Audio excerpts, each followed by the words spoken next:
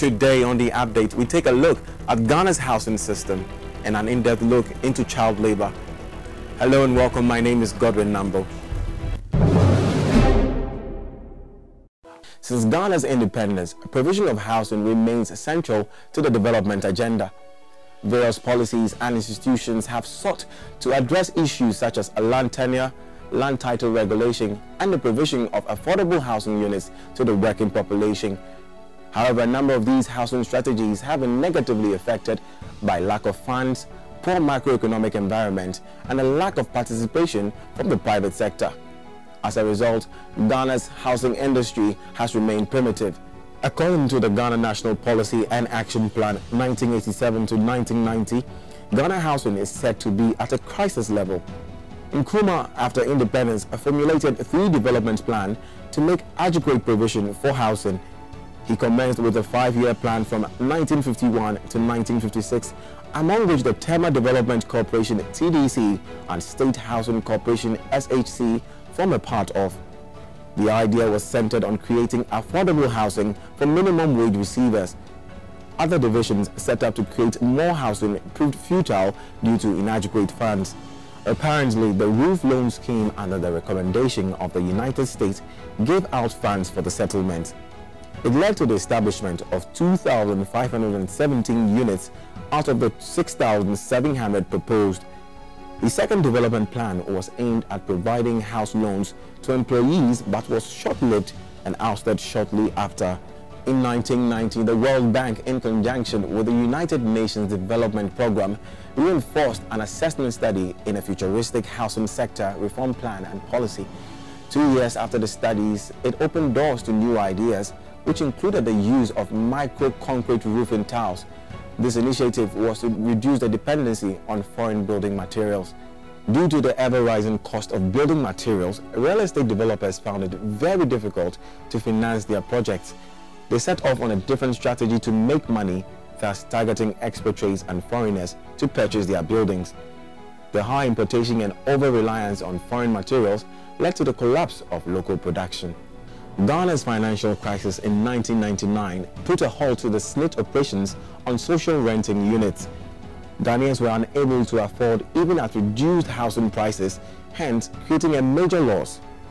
In the 2000s, after Ghana had been declared a highly indebted poor country, it received 10 million cedis for the development of new housing projects near Amasaman. Today, most Ghanaians that have little funds have joined the act of setting up structures that are barely equipped and charge outrageously for it. There are many types of housing in Ghana. These include the traditional houses that dates back to the 10th century made out of mainly red mud and palm fronds which exist till date in extremely remote rural areas.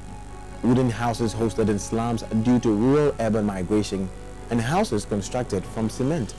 Today in Ghana, most houses are built independently for personal or commercial use. They come in the form of apartments, semi-detached houses, detached houses, and attached residence or townhouses. On the other hand, there is a section of real estate companies dedicated to selling houses or mortgaging them, but at expensive charges. However, the government of Ghana is pursuing various housing projects through private-public partnerships.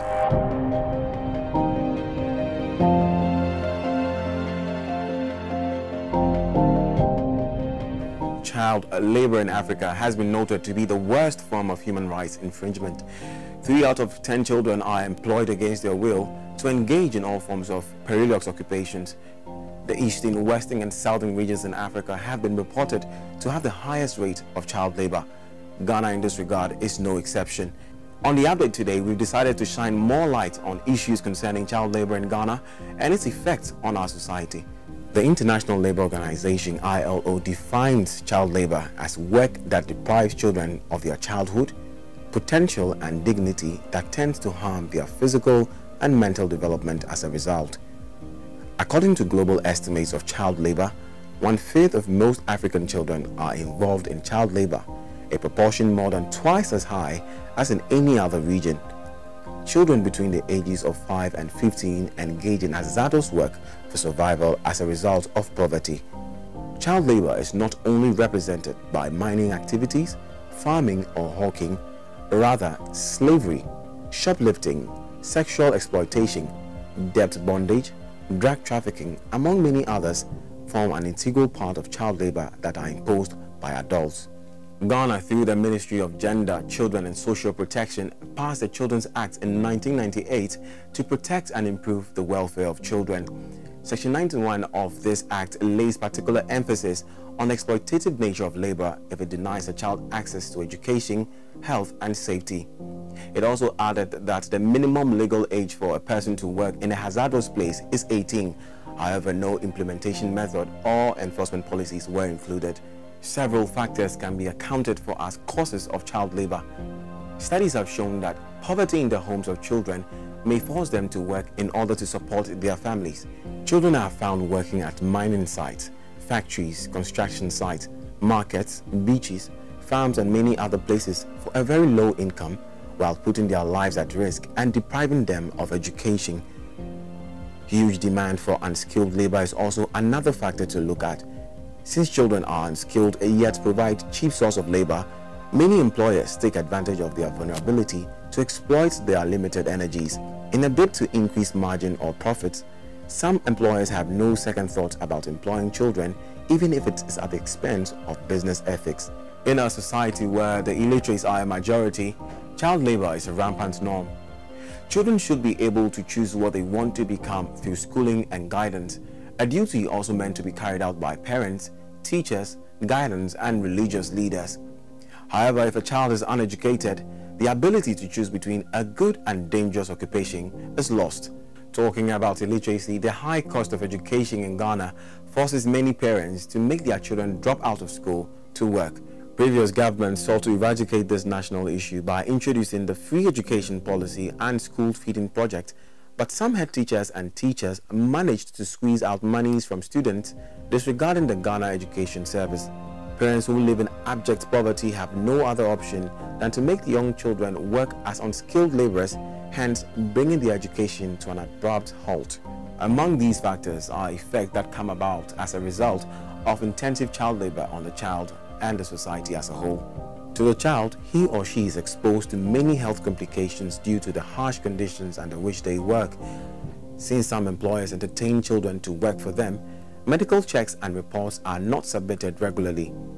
In mining companies and factories where children are exposed to chemicals and workplaces that demand manual works, lifetime health issues are inevitable. The child also loses quality childhood experiences. Humans are to enjoy every stage of their growth and in this regard, children are expected to have good childhood memories for a lifetime. Children are expected to play with peers, embark on school trips, have birthday parties among others the society also encounters a high level of illiteracy. Children that are forced to engage in various occupations are denied the right to school and as a result, the rate of illiteracy keeps increasing in the society. Education is meant to prepare individuals for the task ahead and as a result, educated people are equipped with the tact to handle issues. The uneducated, however, usually rely on force as a means of survival. The society gets flooded with money-thirsty youth. The sole aim of working is to earn money. Children as young as six are indirectly introduced to the habit of hunting for money when they are made to work and unconsciously the need for money gets implanted in their heads. Their individual values and respect for talent gets lost as a result since they end up believing that money can be easily acquired when they engage in almost any kind of job. Indeed, there's a brighter side to everything. If education is made free or less expensive, child labor could be eliminated. If demand for skilled or professional workers becomes the norm, child labor can be eliminated. If law enforcers will play their active roles by arresting people who force children into hard labor, the rate of child labor can be limited. The innocence of a child should not be taken away in an exchange for making life easier for adults. We should all strive to protect the fundamental rights of children. This has been the update here on DGN. My name is Godwin Namboh. Follow us for more news at dailyguideafrica.com and on all our social media platforms at Daily Guide Network.